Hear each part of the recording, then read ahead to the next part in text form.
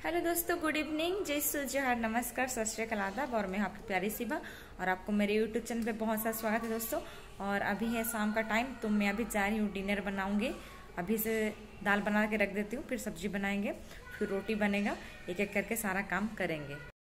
देखिए, मैं दाल को अच्छा से धो दी हूँ और इसको भी थोड़ा पानी देके भिगो देंगे।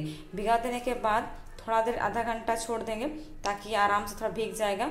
ऐसे में हम लोग का गैस का खर्चा बहुत कम होगा क्योंकि तुरंत बनाने से ये जल्दी नहीं पकता है और इसको थोड़ा देर भिगो के रख देने से वो थोड़ा आराम से जल्दी पकेगा।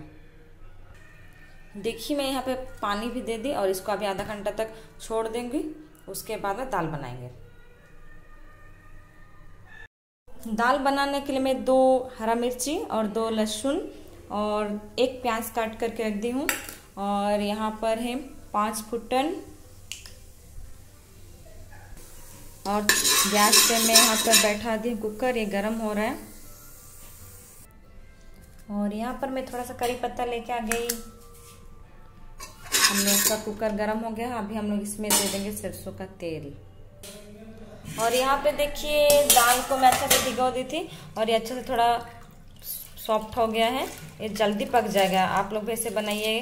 दाल को भिगा के तो गैस खर्चा ज़्यादा नहीं होगा, बचत होगा गैस।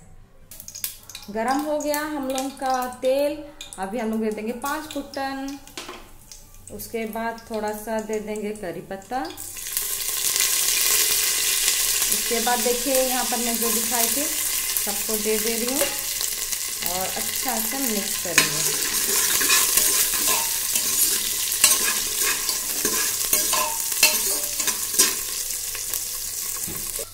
प्याज, मिर्ची लहसुन सब हो गया है। अभी हम इसमें दाल दे देंगे।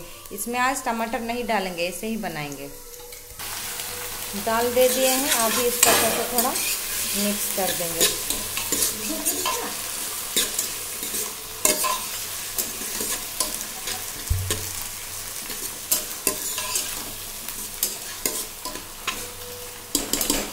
और अभी थोड़ा देर के बाद नमक और हल्दी दे देंगे। और अभी हम लोग यहाँ पे नमक और हल्दी दे देंगे। अच्छा से मिक्स कर देंगे नमक, हल्दी से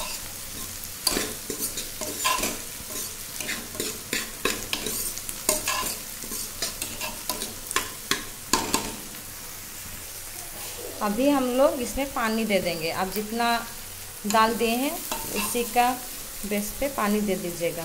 थोड़ा दाल पक गया है।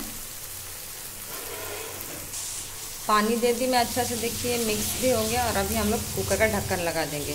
दो सीटी में उतार दीजिएगा। और यहाँ पे भोजा बन रहा है। भिंडी, आलू और बरबट्टी का भोजा। मैं तो दाल का रेसिपी दिखा ही रही हूँ। भिंडी, आलू, भोजा भी यहाँ पे बन रहा है। दोनों बन रहा है। दाल और भुजा।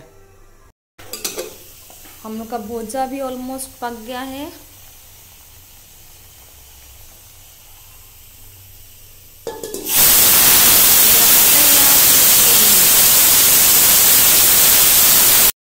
फाइनली दोस्तों, हम लोग का दाल बन चुका है। देखिए, बहुत अच्छा से बगैर टमाटर के कितना अच्छा बन गया है। ज़्यादा पतला नहीं है और ज़्यादा मोटा भी नहीं है। आप लोग भी ऐसे दाल बनाइए और खाइए। बगैर टमाटर के बहुत टेस्टी लगता है। मैं कैसे बनाई, बहुत सिंपल तरीके से आप लोग देख लिए हैं। आप लोग भी ज़रूर ट्राई कीजिए दोस्तों। और यहाँ पे हम लोग का भोजा भी तैयार हो गया। देखिए कितना अच्छा लग रहा गर्मा गर्म भोजन।